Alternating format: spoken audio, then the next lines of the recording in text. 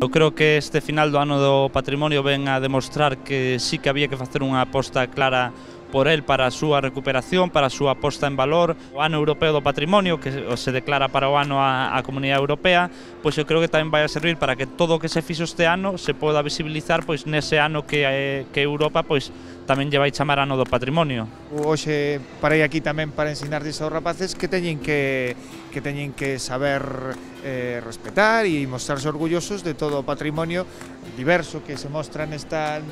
pois nesta, nesta viñeta do propio da vila eh, e, que, e que o vexan como algo que forma parte da súa cultura e do que deben de estar orgullosos e tratar de, de defender e de, e de preservar cara, cara ao futuro. Promocionar o que é o noso, o mar e o noso medio de sustento desde fai séculos e eh está moi ben, a verdade. O patrimonio galego por, por sorte temos moito, pero por mala sorte está bastante esquecido, pues, segundo que, non? Algo esencial que hai que tirar por el, turrar por el e, eh, e non deixalo de lado. É unha oportunidade, non, que haya espazos como, como este do Culturgal para, para que podamos así pois espallar un pouquiño a, a cultura e que haya xente nova que se este interesando pola, pola cultura galega, que tamén pois que haya moitas mulleres involucradas nesto, que tamén que collamos o noso espazo dentro dentro da defensa do, do, noso, do noso patrimonio e da nosa galeguidade.